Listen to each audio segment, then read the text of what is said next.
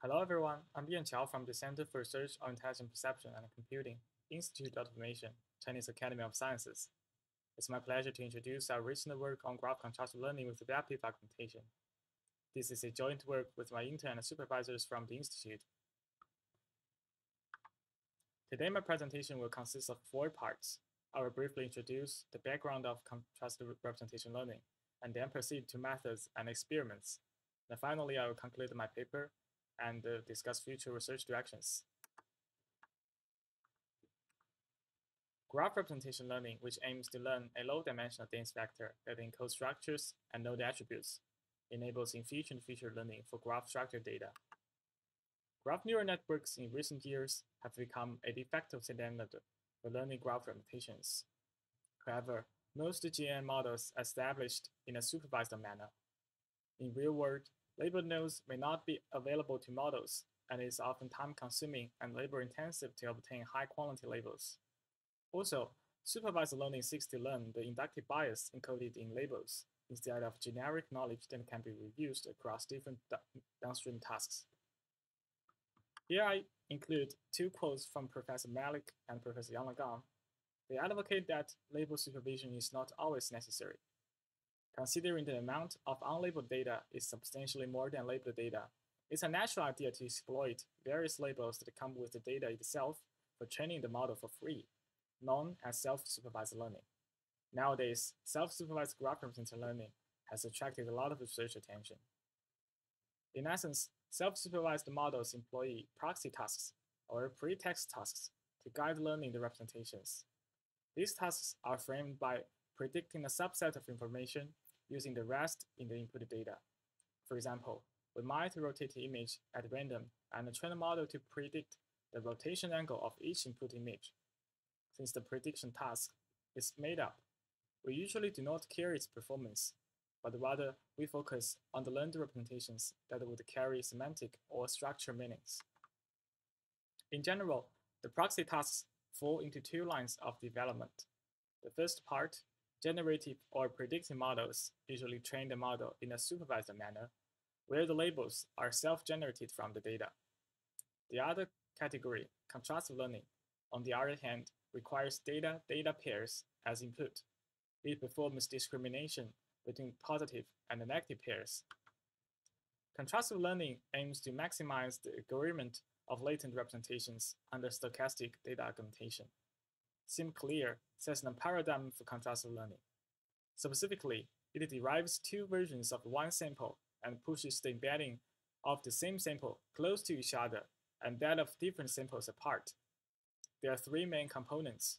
The first one is data augmentation pipeline T, the encoder F, and the representation extractor G, and contrastive, and the contrastive mode and objective L.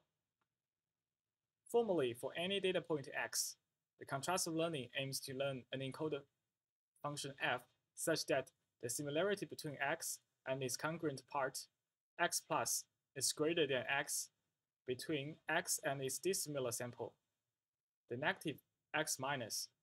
The score function is encouraged to assign large values to positive samples and small values to negative samples. Here, X is also commonly referred to as an anchor data point in self-supervised learning literature. We can construct an n-way softmax classifier to optimize it, which is referred to the InfoNCE-loss. The critic function here can be simply impl implemented as a cosine similarity function. The InfoNCE-loss distinguishes a pair of the representations from two augmentations of the same sample, apart from n-1 pairs of representations from different samples. Unlike visual representation learning, the traditional work of network embedding inherently follows a contrastive paradigm, which is originated in the skip-gram model. To be specific, nodes appearing on the same walk are considered as positive samples. For example, node2vec first samples short random walks and then enforces neighboring nodes on the same walk to share similar embeddings by contrasting them with other nodes. These traditional node embedding approaches could be seen as factorizing a, a, a, proximity matrix, which have difficulty in leveraging node attributes. We now turn our attention to GNN-based contrastive learning, since modern GNNs employ more powerful encoders for learning representations by aggregating information from neighborhood. However, GNN-based contrastive learning are still in their infancy. A growing body of graph contrastive learning literature has investigated different contrastive modes and contrastive augmentation techniques. The first contrastive mode defines which embeddings to pull together or push apart. The second, data augmentation function transforms the original graphs to congruent counterparts. Mainstream work involves two modes, global to local and local to local contrastive learning. Global local contrastive learning, for example, G DGI and MVGRL, maximize the agreement between node and graph level representations. The graph local contrastive learning mode can be seen as a proxy for the local to local mode, but the graph readout function should be injective to distill information from the node level embeddings. The local to local contrastive learning, for example, follow-up work, GCC, GRACE, and GraphCL, inskew the need of an injective function and directly maximize the agreement of node embeddings across two augmented views. Another critical design consideration is data augmentation for graph structure data, which transforms the original graphs to congruent counterparts. Most existing work adopts a bi-level augmentation scheme consisting of both structure level and attribute level augmentation. In this work, we argue that augmentation serves as an crux for contrastive learning, which controls what the learned representations should be invariant to. It establishes strong implicit biases in the network, but how to integrate augmentation schemes into graph contrastive learning is still an empirical choice. In essence, contrastive learning seeks to learn representations that are insensitive to per perturbation induced by data augmentation. The transformations therefore aim to produce a view which is distinct from the input, but is also imperceptible. That is, the transformation should not fundamentally alter its identity. Considering that there is discrepancy in impact of nodes and edges, we argue that augmentation should preserve important structural and attribute information of graphs, and this is the main motivation of our work. Let's introduce our proposed method. The proposed GCA mainly consists of two stages, data augmentation and contrastive learning. At first, we generate two correlated graph views by randomly augmenting the graph structure and the node attributes. Then, we train the model using a contrastive loss to maximize the agreement between node embeddings in the latent space. Rather than contrasting node-level embeddings to global ones, we primarily focus on contrasting embeddings at the node level. The contrastive objective takes in the form of NT-Xent loss, the normalized temperature-scaled cross-entropy. Embeddings of the same node across two views constitute the positive pairs. We do not explicitly generate negative uh, samples, and all other node embeddings across the two views are treated as the negative samples. Then the final embedding, uh, the final objective is defined as the average over all positive node pairs. In this work, we propose that augmentation techniques used in contrast learning should be adaptive to the given graph. Following previous approaches, we conduct bi-level augmentation at both topology and attribute levels as well, but more specifically, we propose to keep important structures and attributes unchanged and perturb possibly unimportant links and features by setting the removal probability inversely proportional to importance scores of edges or attributes. From an amortized perspective, we emphasize important structures and attributes over randomly corrupted views. At the topology level, we sample a modified edge subset with a certain probability. This probability should reflect the importance of that edge in the graph topology space. In network science literature, node centrality is a widely used measure to quantify the influence of a node and we derive edge importance from the centrality scores of nodes at the two ends. To alleviate the impact of nodes with heavily dense connections and overly high removal probabilities, we further transform the edge importance followed by a normalization step.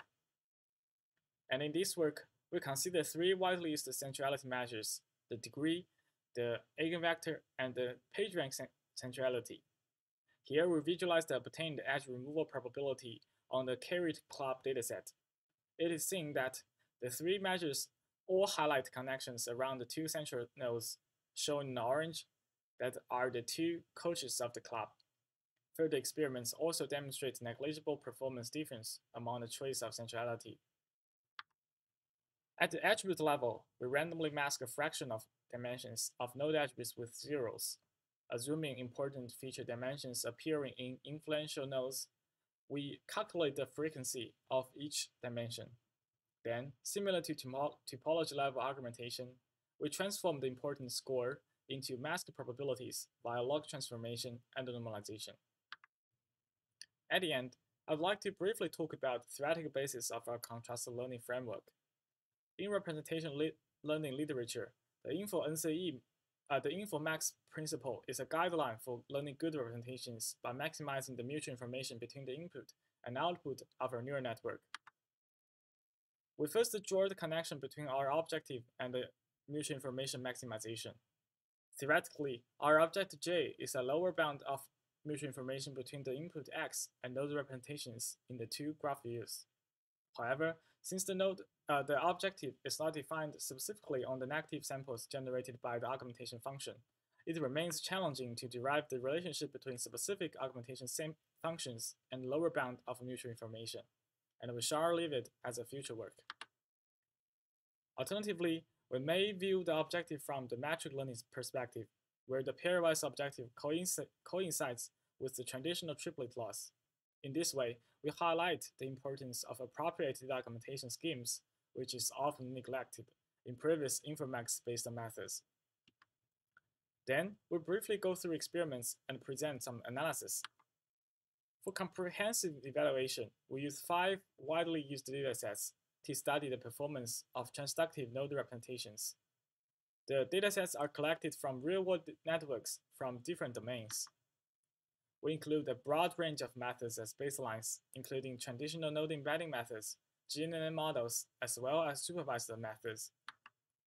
We follow linear evaluation scheme in previous studies, where the model is firstly trained in an unsupervised manner, and the learned representations are fed into a simple logistic regression model. For all baselines, we employ a two-layer GCN model as the encoder and report the performance in terms of classification and accuracy. The overall performance is summarized in this table. We observe that GCA consistently performs better than unsupervised baselines by considerable margins. Also, we particularly note that GCA is competitive with models trained with supervision on all datasets. We also conduct ablation studies on the adaptive augmentation module we replace the topology and the attribute augmentation function with a uniform sampling function, respectively, and the results are shown in this table. From the table, we see that both topology level and node attribute level adaptive augmentation scheme improve model performance consistently on all datasets. Last, we investigate the impact of critical hyperparameters, namely removal probabilities that control the generation of graph views the plot shows the model performance with varied removal probabilities from 10% to 90%. It is seen under different magnitudes of perturbation. Our model performs steadily as long as the parameters are not set too large. Finally, let's conclude my presentation. We have developed a novel graph contrastive learning framework GCA with adaptive augmentation. We argue that Important nodes and attributes should be preserved during augmentation to force the model learn intrinsic patterns of graphs. Specifically, we set the removal probability inversely proportional to centrality scores of the edges or attributes to reflect their, their importance.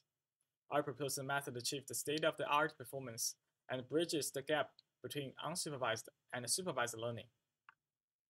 I think my work only contributes some preliminary results to self-supervised learning on graphs. And nowadays, graph self-supervised learning has become a promising way to learn representations without human annotations. Stemming from traditional network embedding approaches, graph contrast learning has established a new paradigm for unsupervised representation learning on graphs. However, the development of graph, con graph contrast learning remains nascent, yet calls for a principled understanding of it. I hope my work will further solicit more interesting ideas in this field. Here are some useful resources that may benefit your own research. I collect a list of must-read papers, surveys, and talks.